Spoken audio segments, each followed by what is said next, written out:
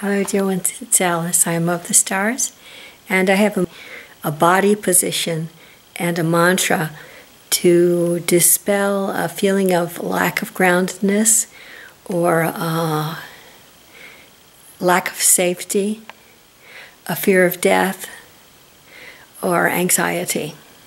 You lie down, facing up, um, and your hands are by your sides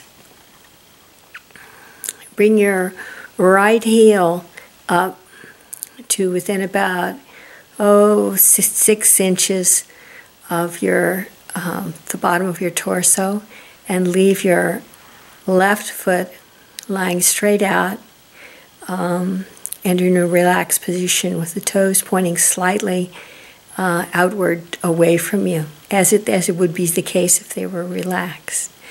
Then uh, empty your mind of um, thoughts.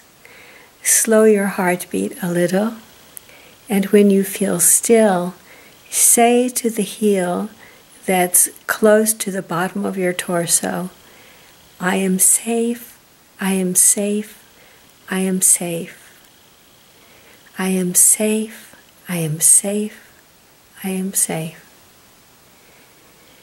Then continue to breathe quietly for a few more minutes, and that's it. That's that.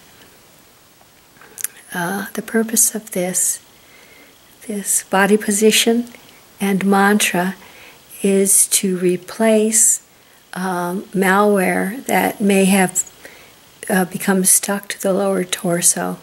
The lower, the lowest chakra is in charge of the feeling of safety and groundedness, and uh, safe safety from death, like that, and and so.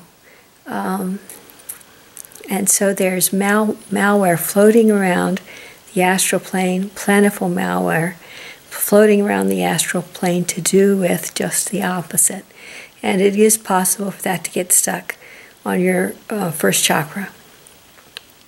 And what this, um, what this pose and uh, mantra do is replace that malware with goodware, what you might say. Yeah, very simple.